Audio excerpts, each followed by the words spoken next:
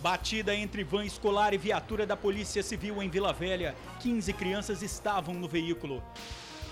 Na BR-101, o acidente foi entre um ônibus e uma carreta. Taxista fica praticamente seminua durante assalto na Serra. Ela foi rendida por um casal. Na delegacia, os acusados se dizem tão apaixonados que um quer assumir o crime no lugar do outro.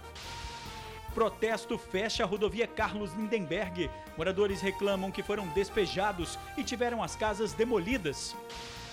Absurdo! Bandidos fazem buracos em muro do pátio da Polícia Civil e roubam motos e peças de carros. Pedreiro que matou a ex-mulher a pedrada se entrega à polícia. Ele se preparava para fugir, mas se arrependeu, só que friamente confessou o crime. Criminosos assaltam lanchonete no norte do estado. Mulheres tentam roubar aparelho de pressão em farmácia e acabam presas. Com elas, a polícia encontrou mais de 100 objetos furtados em outras lojas. E presidente da Vale comparece à CPI do Pó Preto, pede desculpa por ter faltado à última sessão, anunciou investimentos até 2020. Moradores que sofrem com o problema pedem solução urgente. A gente já volta.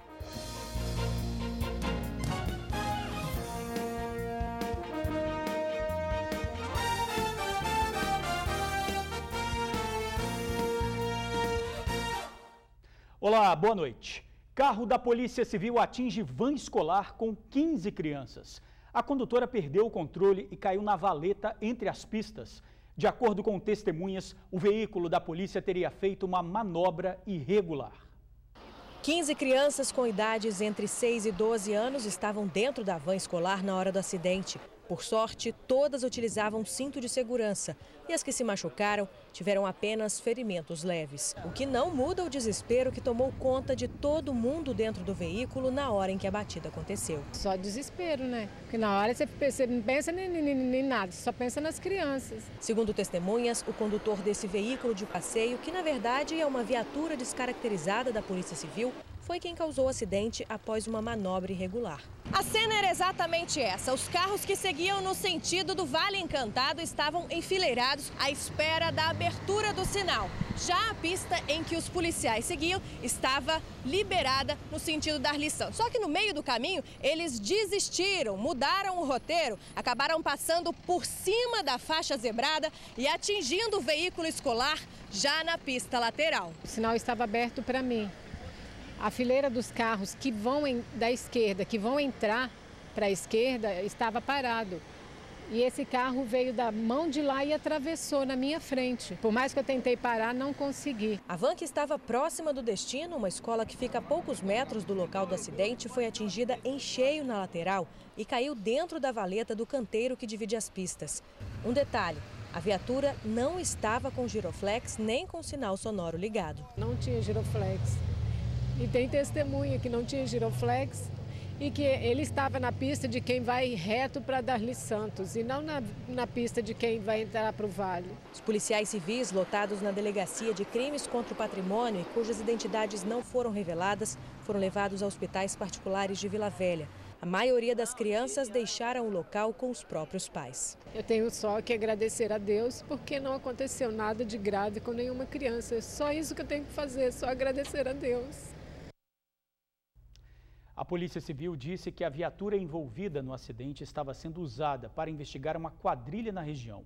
Os dois policiais que estavam no veículo foram levados para o hospital e passam por exames. O Batalhão de Trânsito e a Delegacia Especializada vão investigar a responsabilidade do acidente. E atenção, a volta para casa está complicada. Um protesto está interditando a rodovia Carlos Lindenberg. Cerca de 20 pessoas colocaram fogo em pneus imóveis e impedem motoristas de passar. A manifestação é de moradores que foram despejados de casas do bairro Ataíde. A prefeitura disse que demoliu as casas inacabadas porque foram feitas em um terreno que pertence ao município e a área é de risco. Está preso e confessou o crime. Homem suspeito de matar a ex-mulher com uma pedra se preparava para fugir do estado, mas diz que se arrependeu e se entregou num posto da Polícia Militar. Daniel Lopes de Souza, de 42 anos, se entregou no final da manhã. O pedreiro procurou o DPM da SEASA em Cariacica e confessou que matou a ex-companheira. Foi até o SEASA, até instruído por alguém para fugir. Chegando no SEASA, acho que a consciência dele doeu, foi até o DPM e confessou o crime. Foi feita a detenção dele, conduzido até o DPJ. O crime aconteceu na noite da última terça-feira em Terra Vermelha, Vila Velha. A caseira Almerinda Ferreira Suim, de 36 anos, foi morta com uma pedrada na cabeça. O tamanho e o peso da pedra chamam a atenção. O motivo do assassinato seria ciúme. Ela falou que tinha me traído, né? Falou que tinha terminado de ficar com o camarada. Aí, aí deu aquele repente em mim, foi a hora que eu dei, eu dei uma porrada nela. Aí foi, ela desmaiou, foi e jogou uma pedra nela. Aí foi acabar aconteceu isso aí, que ela morreu. O assassino não se preocupou em deixar para trás a moto e este par de chinelos. Uma equipe do SAMU chegou a ser acionada, mas Almerinda já estava morta. O suspeito disse ainda que depois de matar a ex-mulher, ele procurou uma delegacia no centro de Vitória. Como não havia nenhum registro contra ele, Daniel foi simplesmente liberado e pensou em fugir do Espírito Santo. Daniel foi até a Ceasa e pediu carona para um caminhoneiro. Ele pretendia ir para a cidade de Governador Valadares, em Minas Gerais, mas desistiu de fugir antes de começar a viagem. Eu vi que o caminhão tá, já está quase carregado. Aí eu falei, eu vou fazer isso, vou fazer isso não, vou se entregar. Se arrependia, aí eu, aí eu falei, eu vou entregar para ficar livre desse trem logo. Almerinda trabalhava na mesma rua onde foi assassinada. Ela tinha quatro filhos com Daniel, estava separada dele e tinha uma medida protetiva contra o pedreiro. Daniel ficou preso três meses, depois de uma briga entre o casal. O casal estava separado, o ex-marido proibido de se aproximar da ex-mulher, chegou a ser preso enquadrado na Lei Maria da Penha.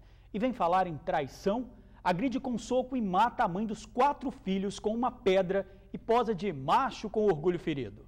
Ainda que se tratasse de traição, matar não justifica nada. O homem que não suportou ver a ex poderia ser feliz sem ele, deixou órfão de mãe os próprios filhos. Fica aí a reflexão para os casais que vivem o mesmo conflito. Há caminhos menos tortuosos que a violência. Taxista é rendida e colocada no porta-malas do carro seminua durante assalto. O casal de criminosos já está na cadeia. A menina tem apenas 14 anos, suspeita de estar grávida. Na delegacia, além de assumir a culpa um pelo outro, os ladrões apaixonados ainda fizeram juras de amor. Sidney Costa Conceição, de 18 anos, e a companheira dele, uma menor de 14, foram presos pela equipe do 6 Batalhão da Polícia Militar em Feu Rosa, na Serra. Eles estavam com um revólver 38 municiado, uma pistola 380 de brinquedo e algumas drogas. Os dois foram levados à terceira delegacia regional da Serra para prestar depoimento. Só que essa história estava apenas no início. Aqui na terceira delegacia regional da Serra, a Polícia Civil recebeu uma informação de que o casal assaltou uma taxista durante a madrugada desta quinta-feira em Laranjeiras. Eles solicitaram uma corrida e no meio do caminho anunciaram o assalto. A taxista teve os pertences roubados, foi obrigada a ficar seminua e trancada no porta-malas do veículo. Com Sidney estavam o óculos e o cordão da taxista. Ela foi à delegacia e reconheceu o casal. A menor conta como foi o crime. Eu tirei a peça, coloquei na cara dela, falei que é um assalto, tirei a roupa dela, peguei o tênis dela e coloquei ela dentro da porta-mala, deixei ela lá. E o seu marido, o que, que ele fez? Hum, meu marido não fez nada não. Quem fez foi eu. Já Sidney tem outra versão. Ele assumiu toda a responsabilidade. Ainda aproveitou a câmera para justificar que a criminalidade é a resposta a uma vida de rejeição. Mãe, você que está me vendo aí agora aí, ó, me perdoa aí pelas coisas que eu fiz, pelos meus atos aí cometidos sem pensar, entendeu? Sei que isso aí não foi coisa assim de mim mesmo, mas foi uma coisa que aconteceu por impulso. Desde meus 12 anos de idade fui rejeitada e na vida ia e hoje aí é o troco que eu estou recebendo hoje. Mas quando o assunto foi a sogra, ah, com ela era só amores. Cleidiane, desculpa por tudo aí, viu? Você é uma grande mãe aí, sogrona. Sidney foi autuado por porte ilegal de arma, corrupção de menores, assalto à mão armada e tráfico de drogas. Vai ser encaminhado ao presídio. E agora, como vai ficar esse amor bandido? A garota disse estar grávida e fez juras de amor a Sidney.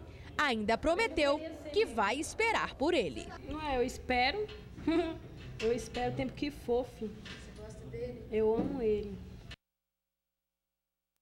na alegria, mas nesse caso na tristeza, né? Bom seria se os dois se preocupassem mesmo em estudar e ter uma profissão.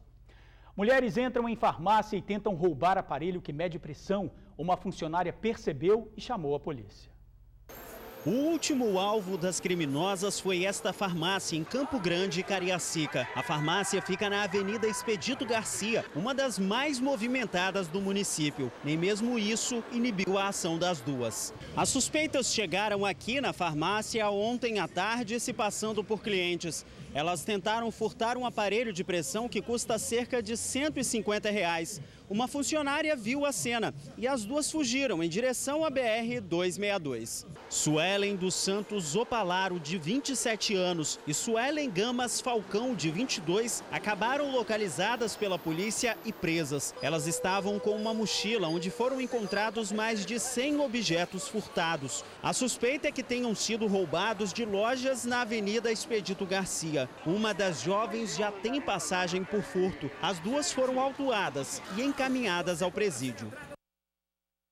Denúncia. Motos e peças de carro são roubadas dentro do pátio da Polícia Civil na Serra.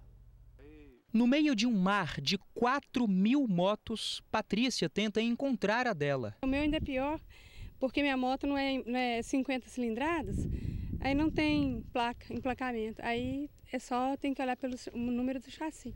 A moto roubada está perdida nesse pátio da Polícia Civil que fica no bairro Alterosas, na Serra. Aqui tem carros também, e muitos, por sinal, cerca de 2 mil. E alguns deles, como esse aqui que tem carroceria, por exemplo, o que, que acontece? Chove, a água acumula e acaba virando foco de mosquito da dengue. E esse não é o único problema. Criminosos estão invadindo o local, fazem buracos no muro para entrarem no pátio, roubam peças, e veículos. Aproximadamente dois meses atrás foram roubados 15 motos aqui. Foram encontradas até atrás aqui no, no terreno, terreno abandonado aqui, várias motos ali ficaram abandonadas ali. E há veículos de várias espécies por aqui, novos, velhos, sucatas e milionários também, como é o caso dessa Ferrari no meio de uma pilha de carros. O sindicato espera providências para a situação não piorar. Se houvesse assim uma, uma, uma destinação desses materiais aqui apreendidos ao longo do tempo, que estão deteriorando, seria mais fácil até proceder aqui uma, uma um, um, trabalho melhor com relação a, a, ao cadastro dos veículos, a apreensão e o destino deles. Amanhã ou depois vão levar até um carro desse aqui. Enquanto isso, Patrícia continua procurando a moto, com a esperança de não ter sido levada de novo pelos criminosos. Criminosos estão entrando nesse pátio para roubarem motos. É mesmo? Sério? Aí é complicado, viu? Aí nós vamos ter que trabalhar mais e comprar outra. A Polícia Civil disse que foi aberto um inquérito para apurar os furtos que ocorrem no pátio. Procurador de Justiça é sequestrado em Vila Velha. O procurador de 69 anos foi abordado num sinal na Avenida Hugo Musso. O bandido apontou uma arma para a cabeça dele, sentou no banco do carona e exigiu que o procurador dirigisse. Depois, obrigou o procurador a entrar no porta-malas. Ele foi liberado em Novo Horizonte, na Serra. O caso é investigado pela Delegacia de Furtos e Roubos de Veículos de Vitória. Bandidos assaltam lanchonete em Colatina, no norte do estado. A polícia agiu rápido e perseguiu os três assaltantes que fugiram por uma estrada de chão. Minutos após o crime, a equipe do GAO cercou os bandidos. Os indivíduos aí estavam portando isso, isso aqui, ó. Esse revólver é o que? Calibre 32 e essa pistola aqui, na verdade é um, é um simulacro. Perfeito. As características, é, a aparência externa dela, os logotipos aí, os registros de segurança são, são bem, bem feitos aí. Cerca de 230 reais e os três celulares roubados na lanchonete foram recuperados. Os bandidos assumiram o crime e mencionaram que nem tiveram tempo de contar a quantia que haviam roubado. Um deles disse que veio de Pinheiros e que estava em Colatina para colher café em uma propriedade rural. Você está arrumando o que aí? Reparar café aí. Está na casa de quem? Casa dele aqui. Presidente da Vale comparece à CPI do Pó Preto e pede desculpas por ter faltado à última sessão. Ele anunciou investimentos até 2020. Quem sofre com o problema pede providências urgentes. No piso, no ventilador, nas paredes. A poluição mudou a cor da casa de Alberto. Se a gente limpar de manhã, de tarde já está tudo preto novamente. Quer dizer, é uma batalha inglória que a gente não consegue realmente resolver. Ele mora há oito anos em Jardim Camburi, mas parece que tem uma década que não limpa a residência. Embora essa seja uma coisa que faz todos os dias. E as mãos, hein? Bom, Basta ver como ficam, né? Essa sujeira toda se acumulou aqui apenas hoje de manhã. Mas para os móveis e eletrodomésticos, basta apenas passar um paninho que fica tudo limpo de novo. Para o chão, uma bela varrida pode dar conta do recado. O problema é a nossa saúde, são os nossos pulmões. Para eles, não existem panos ou vassouras que resolvam o problema, não. As pessoas pararam de fumar cigarro e, no entanto, estão sendo obrigadas a ter esse pó no seu pulmão. Inclusive, à noite, houve essa, essa soma desses problemas todos, já está dando ardência nos olhos. Né? E você não consegue mais dormir com a tranquilidade que você dormia. Essa é uma preocupação não só dele, mas de toda a comunidade. Nós temos percebido que, ultimamente, isso tem aumentado bastante.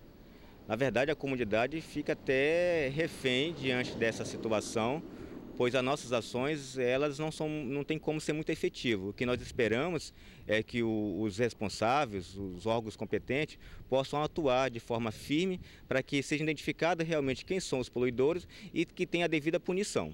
Há algumas semanas o assunto vem sendo discutido na Assembleia Legislativa. A CPI do Pó Preto exigiu esclarecimentos de empresas como ArcelorMittal, Samarco e Vale sobre a emissão de poluentes na Grande Vitória. Só que na semana passada o presidente da Vale não compareceu, alegando compromissos na agenda. Por isso, uma sessão extraordinária foi marcada para essa quinta. E hoje, Murilo Ferreira, presidente da empresa, veio e pediu desculpas. Antes de mais nada, eu queria me desculpar pela ausência na sessão dessa comissão, realizada no último dia 15 desse mês. Infelizmente, não pude comparecer porque já tinha uma agenda comprometida com a senhora presidente eh, da República, Dilma Rousseff, e anunciou uma série de investimentos até 2020. Acreditando que nós podemos estar sendo um dos atores desse processo, nós queremos fazer parte da solução é, a ser encaminhada. Mas até lá, comunidades como Jardim Camburi vão escrevendo com os dedos o principal de todos os problemas. Difícil, né? Bom, na próxima quarta-feira, os parlamentares vão ouvir o Sindicato da Indústria da Construção Civil. O relatório final deve ser finalizado no fim de maio. E a seguir, acidente na BR-101 deixa quatro feridos. Um ônibus e uma carreta bateram. A gente já volta. Acidente na BR-101 envolve um ônibus e uma carreta. A batida aconteceu na região de Xuri. A carreta carregada com um container com refrigerantes bateu na lateral do ônibus. Quatro pessoas ficaram feridas: o carreteiro, o motorista do coletivo, o cobrador e um passageiro. Eles foram levados para um hospital. O trânsito ficou interrompido, mas já foi liberado. E a gente fica por aqui. Muito obrigado por assistir ao jornal, pela companhia de sempre. Uma boa noite e até amanhã.